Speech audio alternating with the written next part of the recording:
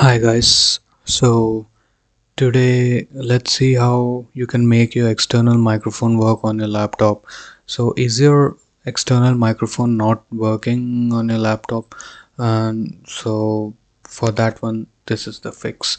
So what happened was I connected the lavalier mic to record something on my laptop and uh, after that it gave me this pop-up and I set it to mic in but that was incorrect. Apparently I had to set it to headset then the microphone started working. So this is the quick fix really. Just you need to set it as headset. Then the microphone starts working. The Premiere Pro I could record uh, I mean I could voiceover with uh, Premiere Pro using this setting headset not microphone in. It doesn't work when I set it to microphone in. I don't know why. I also ran the troubleshooter in the sound settings but it didn't work it did didn't do anything. It uh, gave me microphone array setting and I set it to that but still it didn't work anything. Only when I set it to headset mode then it started working.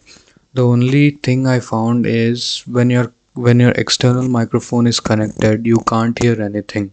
Only when you remove the external microphone from your laptop then you can hear something from your laptop speakers. Otherwise even the laptop speakers won't work because uh, this mode is set to headset and the laptop thinks that uh, the external microphone is also speakers which is incorrect right? so uh, remove the microphone and then you can start hearing from your laptop speakers. And this is the quick fix. Please let me know if this fix worked. And also one more thing. The um, audio driver is Realtek in my laptop. That is Asus Zephyrus G14 and I think it will work on G15 as well. And all those laptops which have Realtek audio driver installed uh, there needs to be some fix for this. I don't know why it's not working when I put it in mic in setting. Uh, so thanks for watching guys. Bye